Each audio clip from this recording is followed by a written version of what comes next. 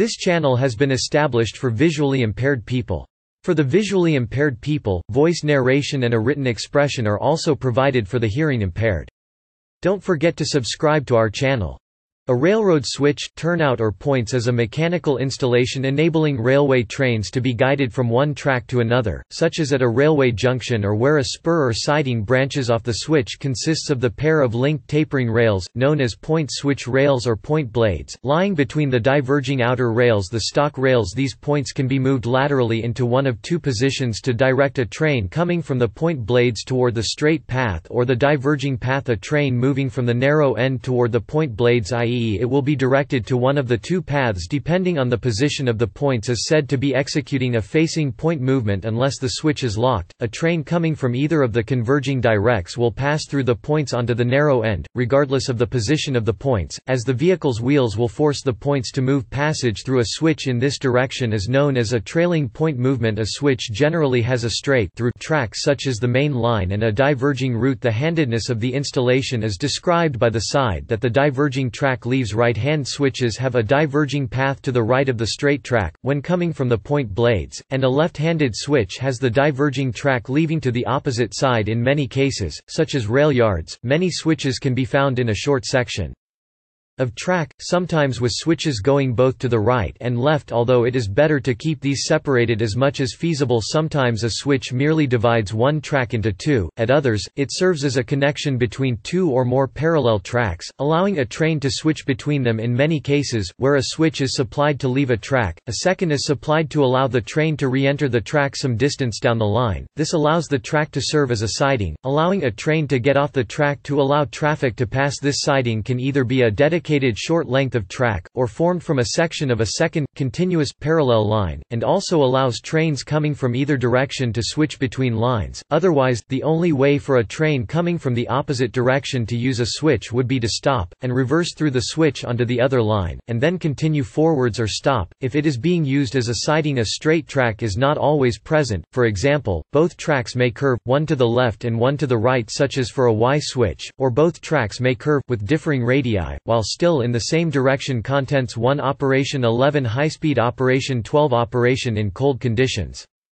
13 tram and monorail systems 14 roller coaster switches 2 classification 3 safety 4 history 5 components 51 points point blades 52 frog common crossing 53 guard rail check rail 54 switch motor 55 points lever 6 point machine conversion 61 facing point lock 62 joint 63 straight and curved switches 64 point indicators 65 components gallery 7 types 71 slip switches 711 double slip 712 single slip 713 outside slip 72 crossover 73 stub switch 74 plate switch 75 three-way switch 76 off-railer 77 interlaced turnout 78 Y switch 79 runoff point 791 derailers 710 dual gauge switches 711 rack railway switches 712 switch diamond 713 single point switch 8 expansion joint joint. 9 Turnout speeds 10 Assembly and transport 11 See also 12 References 13 Further reading 14 External links Operation The operation of a railroad switch in this animation, the red track is the one traveled during a facing point movement. The switch mechanism, shown in black, may be operated remotely using an electric motor or hand-operated lever or from a nearby ground frame. A railroad car's wheels are guided along the tracks by coning of the wheels only. In extreme cases does it rely on the flanges located on the inside sides of the wheels when the wheels reach the switch, the wheels are guided along the route determined by which of the two points is connected to the track facing the switch in the illustration. If the left point is connected, the left wheel will be guided along the rail of that point, and the train will diverge to the right if the right point is connected, the right wheel's flange will be guided along the rail of that point, and the train will continue along the straight track. Only one of the points may be connected to the facing track at any time, the two points are mechanically Locked together to ensure that this is always the case a mechanism is provided to move the points from one position to the other change the points historically, this would require a lever to be moved by a human operator, and some switches are still controlled this way. However, most are now operated by a remotely controlled electric motor or by pneumatic or hydraulic actuation, called a point machine this both allows for remote control and for stiffer, strong switches that would be too difficult to move by hand, yet allow for higher speeds in a trailing point movement running through the switch in the wrong direction while they are set to turn off the track, the flanges on the wheels will force the points to the proper position. This is sometimes known as running through the switch. Some switches are designed to be forced to the proper position without damage. Examples include variable switches, spring switches, and weighted switches. If a switch becomes worn or the operating rods become damaged, it is possible for the flange to split the switch, and go through the switch in the direction other than what was expected. This happens when the flange strikes a small gap between the fixed rail and the set switch point whichever is touching the main line, this forces the switch open, and the train is diverted down the incorrect track. This can either happen to the locomotive, in which case the whole train can be directed onto the wrong track, with potentially dangerous results, or it can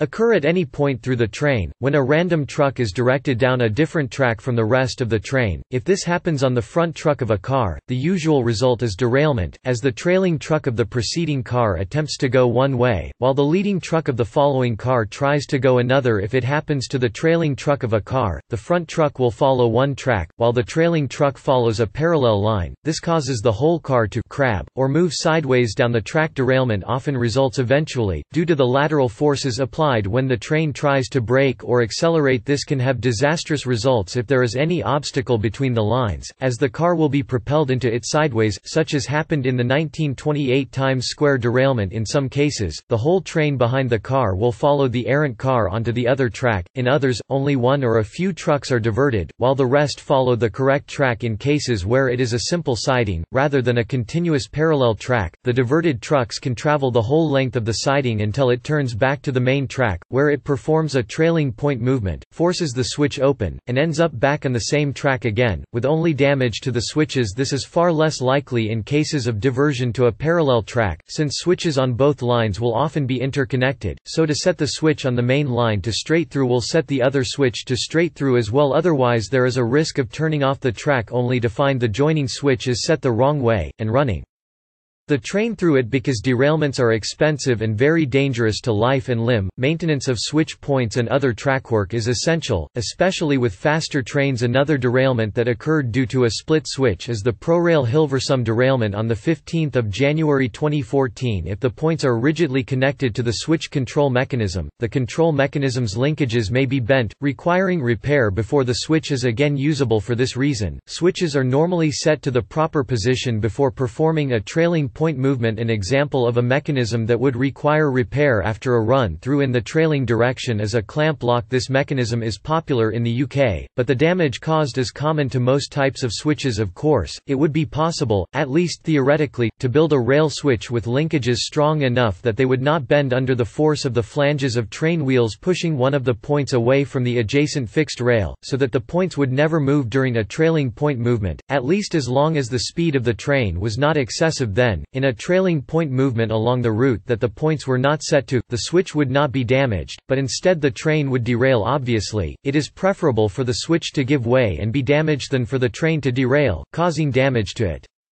and possible injury or loss of life to people aboard the train or nearby high-speed operation generally. Switches are designed to be safely traversed at low speed however, it is possible to modify the simpler types of switch to allow trains to pass at high speed more complicated switch systems, such as double slips, are restricted to low-speed operation on European high-speed lines. It is not uncommon to find switches where a speed of 200 in cold conditions, snow and ice can prevent the correct operation of switches in the past. People were employed by railway companies to keep the switches clear by sweeping the snow away, and this is still used in some countries, especially on minor lines. Some were provided with gas torches for melting ice more recently. Switches have had heaters installed in the vicinity of the points so that the temperature of the rails in these areas can be kept above freezing. The heaters may be powered by gas or electricity in cases where gas or electric heaters cannot be used due to logistical or economical constraints, anti-icing chemicals can be applied to create a barrier between the metal surfaces of the switch and ice heating alone may not be enough to keep switches functioning in snowy conditions if the snow is particularly sticky, as it may be in temperatures just below freezing. Chunks of ice may accumulate on trains when the train passes over some switches. The shocks, possibly in combination with slight heating caused by braking or a city microclimate, may cause the chunks of ice to fall off, jamming the switches the heaters need time to melt the ice, so if service frequency is high, there may not be enough time to melt the ice before the next train arrives, disrupting services. Possible solutions are installing higher capacity heaters, reducing the frequency of the timetable or applying anti-icing chemicals like ethylene glycol to the train's tram and monorail systems. A switch on the monorail Listowel and Ballybunion Railway, Ireland. In 1912 the switch points of tram lines are often operated remotely by the driver. The traditional solution for control is whether the car draws power or not when passing under a special short segment of the overhead wire. The presence or absence of power draw is detected by special circuitry, which activates or deactivates the switch points. This arrangement requires the tram car to coast unpowered through the switch running on momentum. When making certain moves The next system uses uses a powerful electromagnet in the tram and a reed relay inlaid between the tracks to initiate the blade turning mechanism. The driver has a separate switch to control the magnet, thus switching is no longer dependent on power draw of the tram. Simplifying the procedure somewhat turning the switch blades always requires a magnetic field on the relay and its polarity dictates the direction. No magnetic field when passing the relay means retain the blades in whatever the position they were alternatively in modern times, radio telemetry or some other form of control signaling is used monorail systems have special switches roller coaster switches substitution track switch for rail at Chester Zoo Many roller coasters have switches for the siding, or even for a double station system, for example in Disneyland Paris's Space Mountain and Air at Alton Towers regular rail can cross its own track because the gaps in the rails for wheel flanges are narrow, permitting the bladed design in this article. Round pipe roller coaster rails and box beam monorail rails usually have wheels riding at angles other than on top. These additional other angle wheels are a larger loading gauge, requiring big gaps in the rail structure gauge where rails cross or meet their there are three basic switch designs for roller coasters flexing, substituting and table rotating rails have all been used flexing the entire rail truss, fixed at one end, to point towards an alternate destination requires manipulating a long segment of rail substituting a segment requires placing two or more segments of rail on flat plate that is moved in its entirety to provide straight or curved track. Alternatively these substitution track segments can be wrapped around a rotating cylinder, creating a triangular truss or a two-sided plate rotating a table with a curved track segment in a Y junction is the less used third option if the curved track turns the cars 60 degrees, and three rail lines meet as three equally spaced spokes, 120 degrees apart, then the curved track sitting on a turntable can be rotated to connect any two of the three rail lines at this junction, creating a triangle junction classification. A low-speed number 6 right-hand main line to yard switch. The divergence and length of a switch is determined by the angle of the frog. The point in the switch where two rails cross, see below and the angle or curvature of the switch blades. The length and placement of the other components are determined from this using established formulas and standards. This divergence is measured as the number of units of length for a single unit of separation in North America. This is generally referred to as a switch's number. For example, on a number 12 switch, the rails are one unit apart at a distance of 12 units from the center of the frog in the United Kingdom. Points and crossings using chaired bullhead rail would be referred to using a letter and number combination. The letter would define the length and hence the radius of the switch blades and the number would define the angle of the crossing frog. Thus an A7 turnout would be very short and likely only to be found in tight places like dockyards whereas an E12 would be found as a fairly high speed turnout on a mainline safety switches are crucial to the safe running of a railway, because they pose a number of risks. Incorrectly set points may result in two trains being on the same track, potentially. Causing a collision The wrong setting might be caused by tampering with a manually operable switch or by operation errors in an interlocking reversing the points under a moving train will almost always derail the train points might move due to the extreme forces exerted by a passing train. A train might stand so close to the frog of a switch that a passing train might collide with its side. The first train is then said to foul the switch. The necessary maintenance of the complex mechanical device might be neglected to avoid accidents caused by these risks. Suitable technical remedies as well as certain practices are applied. The most important are, locks to prevent reversing a switch without a proper key interlockings that allow signals only to be cleared when switches are set correctly. Track circuits to prevent reversing when a passing train is detected. Clamps that lock blades to the stock rails in a secure manner. Track circuits and fouling markers to point out fouling vehicles maintenance schedules, especially for measuring deviations of critical distances. The following paragraphs give examples of accidents that were caused by one or more of the risks mentioned above similar non-fatal wrecks near Newport News, Virginia, on August 12, 1992, and in Stewiacke. Nova Scotia, on April 12, 2001, resulted from switches being thrown open in front of the trains by saboteurs to prevent these incidents. Most unused switches are locked up. The 1998 Eschede train disaster in Germany was one of the world's deadliest high-speed train accidents, resulting in over 100 deaths. It occurred when a wheel rim failed at 200. Crash The initial conclusion of the inquiry into the Grayrigg derailment of February 23, 2007, blames an incorrectly maintained set of points history on early lines. Vehicles were moved between tracks by means of sliding rails. The switch was patented by Charles Fox in 1832 prior to the widespread availability of electricity. Switches at heavily traveled junctions were operated from a signal box constructed near the tracks through an elaborate system of rods and levers. The levers were also used to control railway signals to control the movement of trains over the points eventually. Mechanical systems known as interlockings were introduced to make sure that a signal could only be set to allow a train to proceed over points when it was safe to do so on some low-traffic branch lines, in self-contained marshalling yards, or on heritage railways. Switches may still be operated in this way. Components This detail of a switch shows the pair of tapered movable rails known as the switch point switch rails or point blades points point blades The point switch rails or point blades are the movable rails which guide the wheels towards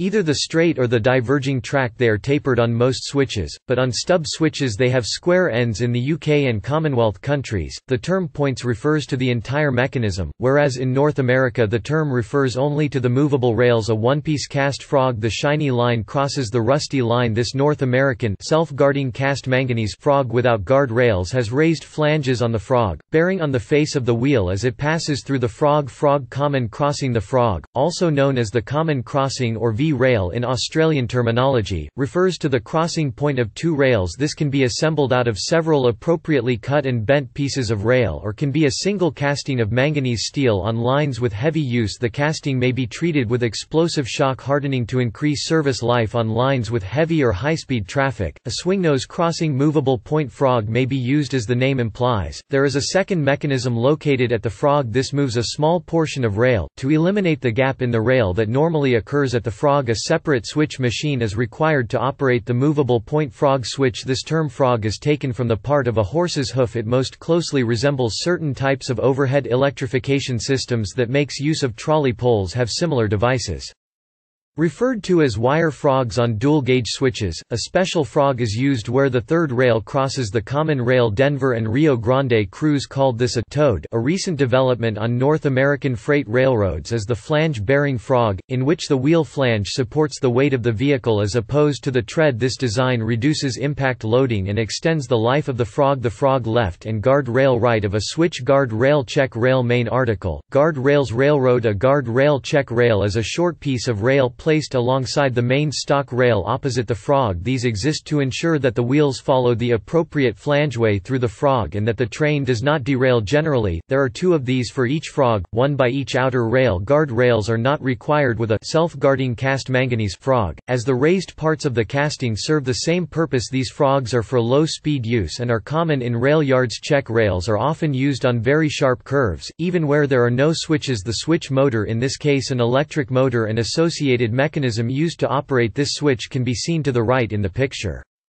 Switch motor A switch motor also known as a switch machine, point motor or point machine is an electric, hydraulic or pneumatic mechanism that aligns the points with one of the possible routes the motor is usually controlled remotely by the dispatcher signaller in the UK the switch motor also includes electrical contacts to detect that the switch has completely set and locked. If the switch fails to do this, the governing signal is kept at red stop. There is also usually some kind of manual handle for operating the switch in emergencies, such as power failure failures A patent by W. B. Purvis dates from 1897 An example of a mechanism used at a switch the two points are linked together with a throw bar The throw bar extends to the lever on the near side of the track, which is used to throw the switch This is an example of a low switch stand, used at locations where there is not sufficient clearance for a tall switch stand This particular stand is designed to be trailed through by rolling stock, which will cause the points to become line for the route that the wheels have passed through It has a reflectorized target points lever A point points lever, ground throw, or switch stand is a lever and accompanying linkages that are used to align the points of a switch manually this lever and its accompanying hardware is usually mounted to a pair of long sleepers that extend from the switch at the points they are. Often used in a place of a switch motor on infrequently used switches in some places, the lever may be some distance from the points, as part of a lever frame or ground frame to prevent the tampering of switches by outside means. These switches are locked up when not in use. Point machine conversion A point machine conversion system consists in a remotely controlled device attached to an existing manually operated point that allows the shunter or driver to remotely operate hand points with a radio handset. Each converter can be used as a standalone or multiple units can be installed operating together with routing facing point lock A facing point lock, FPL or point lock is a device which, as the name implies, locks a set of points in position, as well as proving that they are in the correct position the facing point part of the name refers to the fact that they are to prevent movement of the points during facing moves, where a train could potentially split the points end up going down both tracks if the points were to move underneath the train. During trailing moves, the wheels of a train will force the points into the correct position if they attempt to move move in the United Kingdom, FPLs were common from an early date, due to laws being passed which forced the provision of FPLs for any routes travelled by passenger trains. It was, and still is, illegal for a passenger train to make a facing move over points without them being locked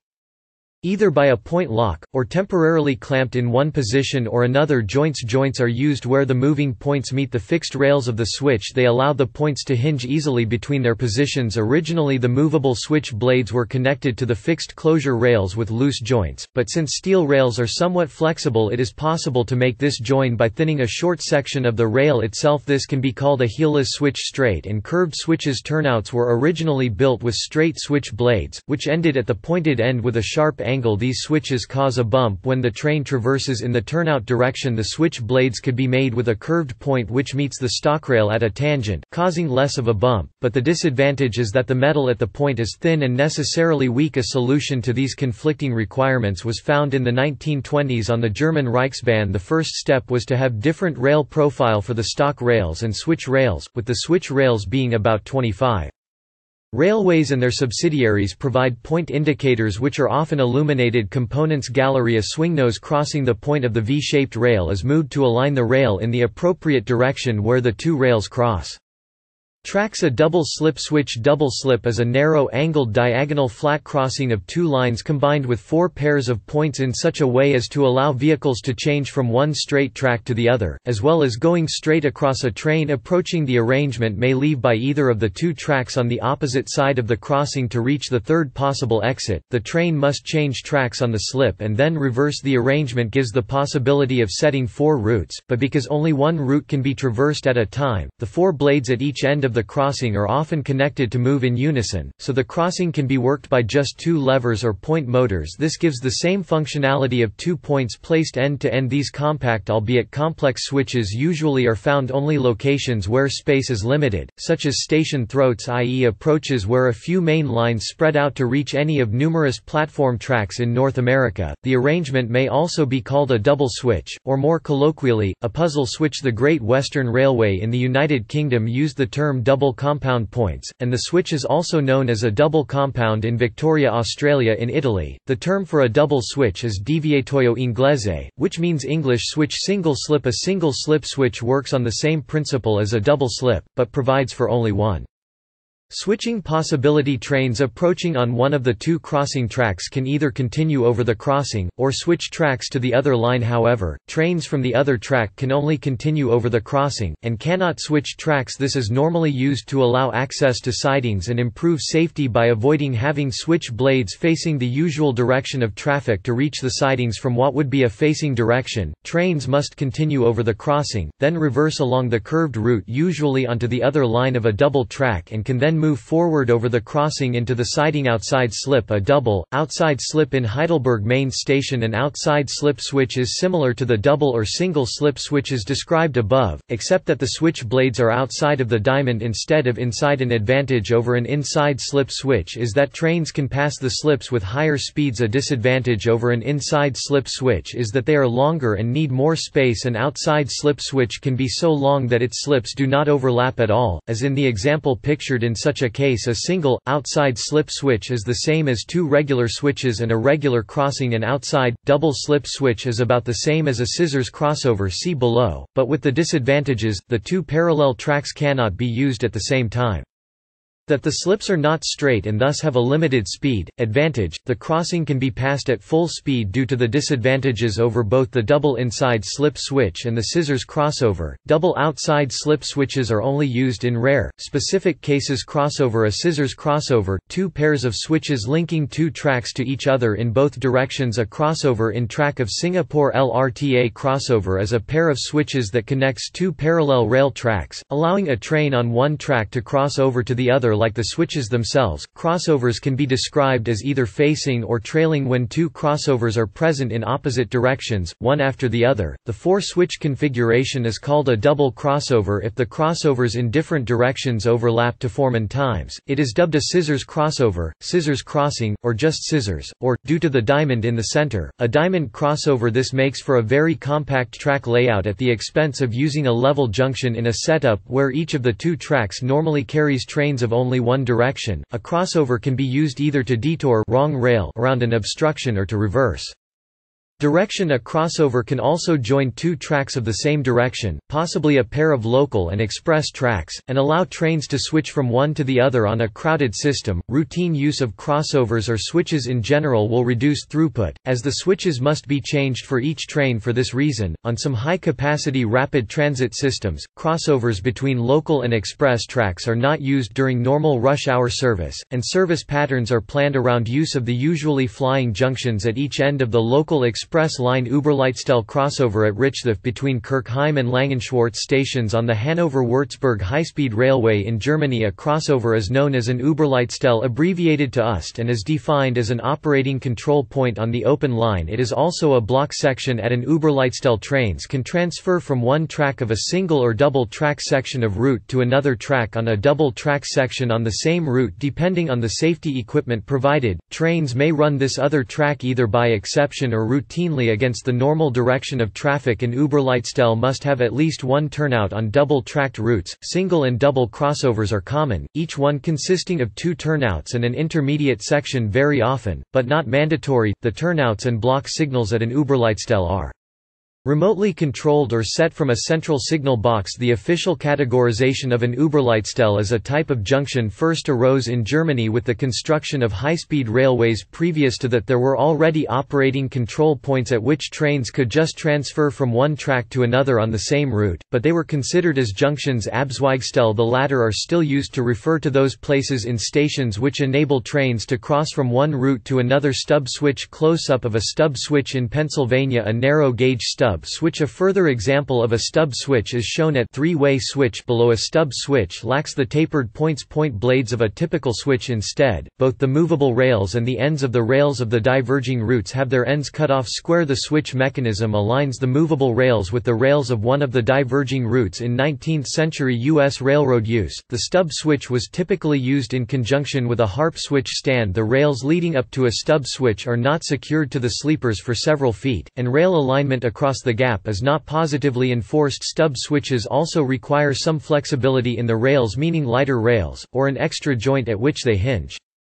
Therefore, these switches cannot be traversed at high speed or by heavy traffic and so are not suitable for main line use. A further disadvantage is that a stub switch being approached from the diverging route that is not connected by the points would result in a derailment. Yet another disadvantage is that in very hot weather, expansion of the steel in the rails can cause the movable rails to stick to the stock rails, making switching impossible until the rails have cooled and contracted. One advantage to stub switches is that they work better in the snow. The sideways action of the point rails pushes snow to the side, instead of packing the snow between the points and the rail in a more modern design stub switches were more common in the very early days of railways and their tramway predecessors now. Because of their disadvantages, stub switches are used primarily on narrow gauge lines and branch lines. Some modern monorail switches use the same principle plate switch. A narrow gauge plate switch a plate switch incorporates the tapered points of a typical switch into a self-contained plate. Each point blade is moved separately by hand plate switches are only used for double-flanged wheels, with wheels running through the plates on their flanges, guided by the edges of the plate and the movable blade. Because plate switches can only be used by double-flanged wheels and at extremely low speeds, they are typically only found on hand-worked narrow-gauge lines three-way switch A three-way stub switch at Sheepscot Station on the Wiscasset, Waterville and Farmington Railway. A three-way switch is used to split a railroad track into three divergent paths rather than the more usual two. There are two types of three-way switches, in a symmetrical three-way switches, the left and right branches diverge at the same place. In an asymmetrical three-way switch, the branches diverge in a staggered way both types of three-way switches require three frogs. The complexity of symmetrical switches usually results in speed restrictions, therefore three-way switches are most often used in stations or depots where space is restricted and low speeds are normal. Symmetrical switches were used quite often on Swiss narrow-gauge railways. Asymmetrical three-way switches are more common, because they do not have speed restrictions compared to standard switches. However, because of their higher maintenance cost due to special parts as well as asymmetrical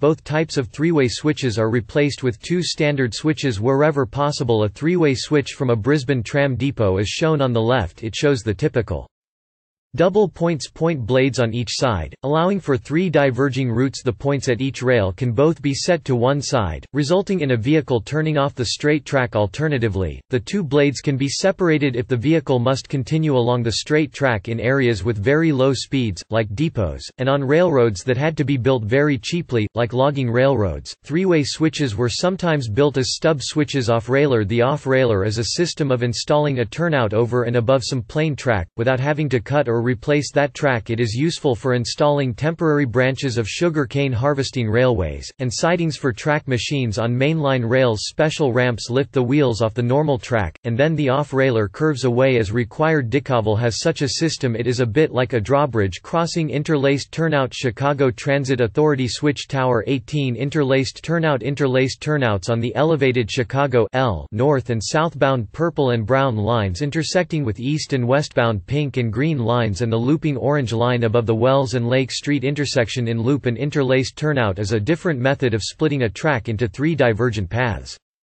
It is an arrangement of two standard turnouts one left and one right-handed, in an interlaced fashion the points of the second turnout are positioned between the points and the frog of the first turnout in common with other forms of three-way turnouts. An additional common crossing is required due to the inherent complexity of the arrangement. Interlaced turnouts are normally only used in locations where space is exceptionally tight, such as station throats or industrial areas. Within large cities interlaced turnouts can also be found in some yards, where a series of switches switches branching off to the same side are placed so close together that the points of one switch are placed before the frog of the preceding switch. Y switch. A Y switch. A Y switch. Y points has trailing ends which diverge symmetrically and in opposite directions. The name originates from the similarity of their shape to that of the letter Y. Y switches are usually used where space is at a premium in North America. This is also called an equilateral switch or equilateral turnout. Common switches are more often associated with mainline speeds, whereas Y switches switches are generally low-speed yard switches. One advantage of Y switches is that they can have a coarser frog angle using the same radius of curvature than a common switch. This means that they give rise to a less severe speed